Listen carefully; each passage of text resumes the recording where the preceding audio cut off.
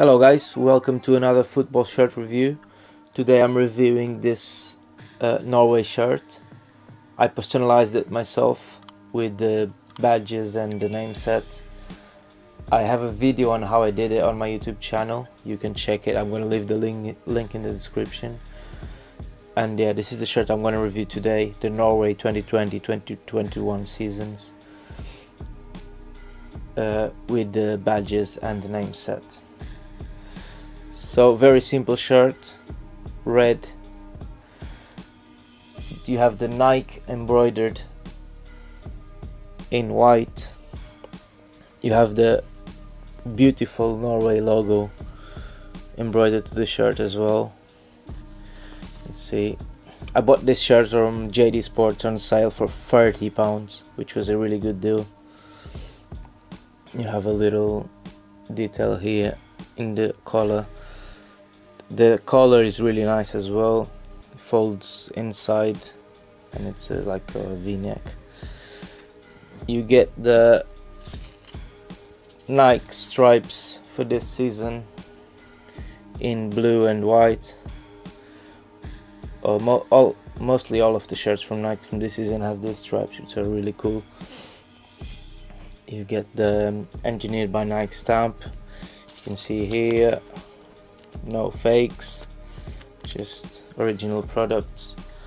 And uh, yeah so this is the name set number on the front which I messed it up on the, at the beginning and I had to paint it myself. You can see it's a bit shiny because I painted myself with a permanent marker and that's how I managed to fix it.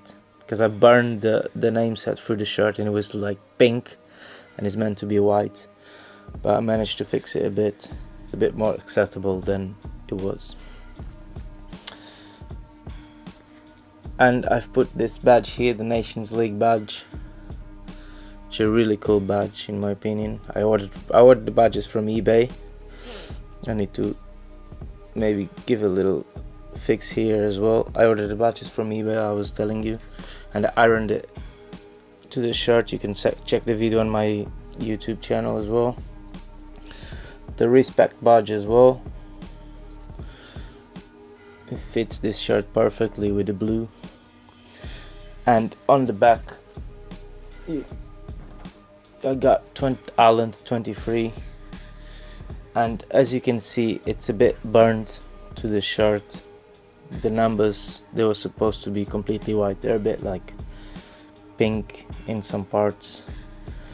But I think it is acceptable. I'll be wearing this shirt for sure.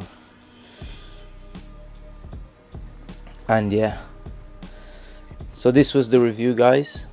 Make sure you check the video on how I personalized the shirt. You can see how I did the badges. I didn't do the I didn't film the name set because it was very tricky. But yeah have a look at the video and uh, let me know in the comments if you like this shirt. Subscribe my channel and like this video because I'm gonna put I'm gonna keep going with the football shirt reviews and I have some more to come. Thanks for watching. Bye